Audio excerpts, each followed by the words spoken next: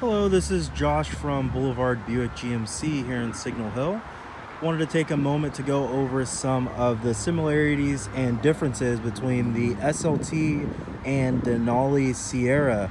We're going to start here in the back with a couple of very key differences. First, you'll see on the Denali here that you have the Denali badging straight away on the backside here, whereas you don't have that. It's replaced by the Sierra emblem there and SLT in the corner. You'll also notice that the back bumpers for the Denali are paint match and on the SLT you have the chrome bumpers.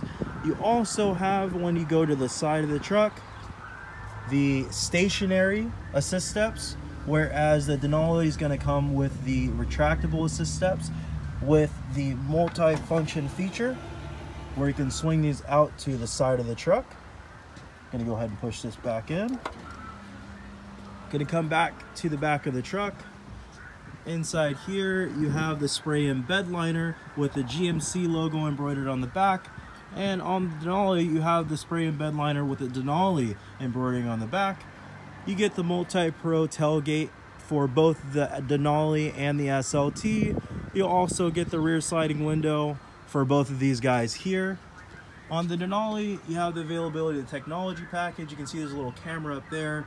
That's gonna allow you to turn your rear vision camera into, excuse me, the rear view camera into a rear vision camera.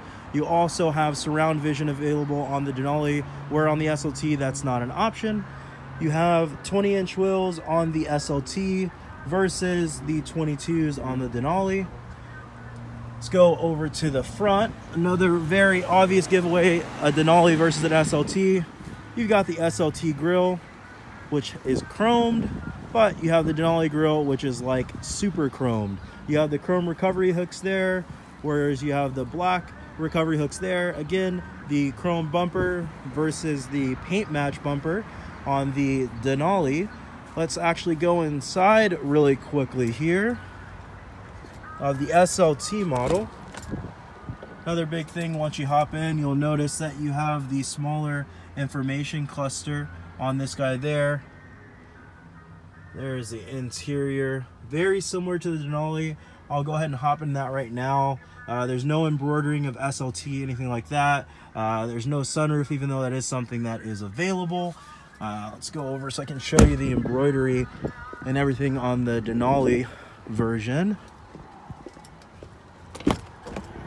So straight away, you'll see you have the much bigger information cluster there show you like how fast you're going, stuff like that. You have a slightly different stitching pattern on the seats here, as well as Denali embroidered anywhere you can get it.